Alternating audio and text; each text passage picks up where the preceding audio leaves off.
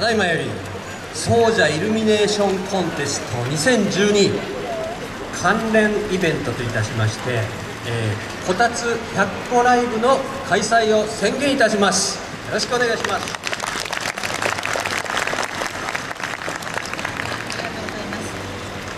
まず主催者を代表いたしまして片岡総一総社市長がご挨拶を申し上げます。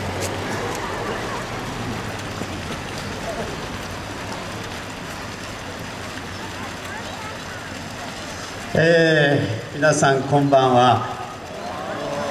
やりましたねとうとう。こんなこと。いやー本当にあのやる前はねこたつが100個集まるかなというところから始まったんですけれども100個やりましょうと言ったらいろんな人があっちゃこっちゃからこたつを集めてきてくださってこれ皆さんね103個あります。どうも本当にあの市民の方々のご協力に心から感謝を申し上げたいと思います。今皆さんね、え12月10日から1月13日まで駅前からあのー、そうですね、えー、三菱自動車販売の辺まで41作品のイルミネーションが点灯しています。ねそれでみんなが協力をしてみんなが自前で作ってくれて総社の街を明るくしようという試み。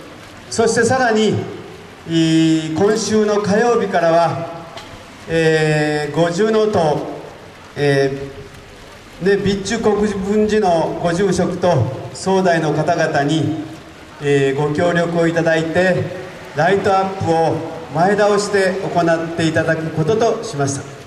皆さんあの最近の総菜明るいと思いませんか？ね。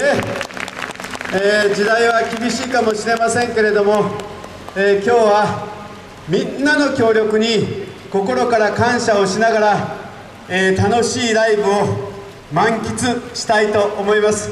大いに盛り上がってまいりましょう。今日はありがとうございました。ありがとうございました。続きまして。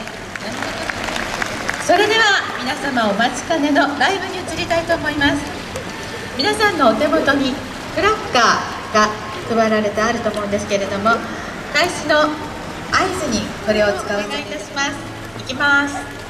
10 9 8 7 6 5 4 3ライブ始めましょうかよ